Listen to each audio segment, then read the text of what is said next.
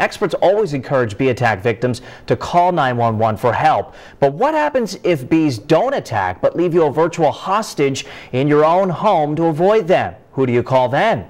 One Edinburg woman thought her fire department would help. She was wrong. Tonight her call for action brings answers and results. The front of Perla Aleman's Edinburg home looks like this. Doors shut, kids inside, no real signs of life. But that's only because of what's buzzing along her fence line.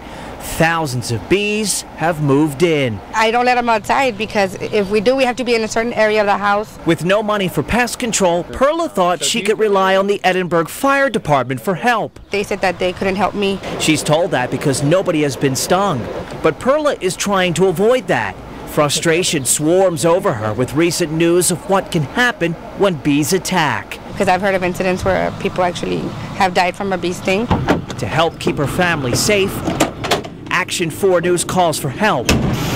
Adrian Esparza Jr., a third generation professional with Esparza Pest Control, determines the area is safe. The bumblebees have no home, no hive, and he says pose little risk if left undisturbed. His father, Adrian Esparza Sr., explains why. I mean, I'm right next to thousands of bees right now.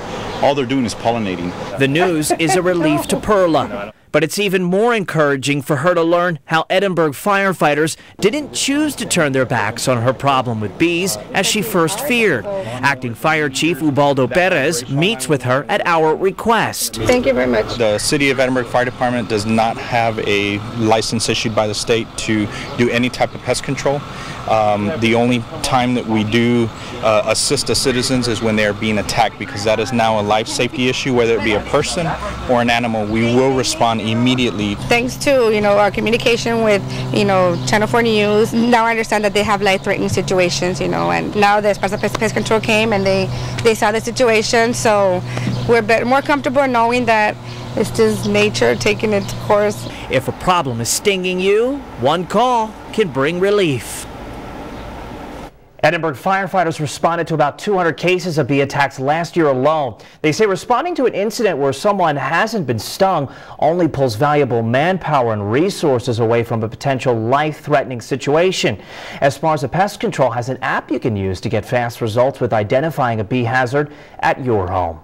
Do you have a problem you'd like for me to address? Just tell me about it on my Facebook page. It's really easy to find me. Just search Ryan Wolf. I'm on Facebook chatting with people right now.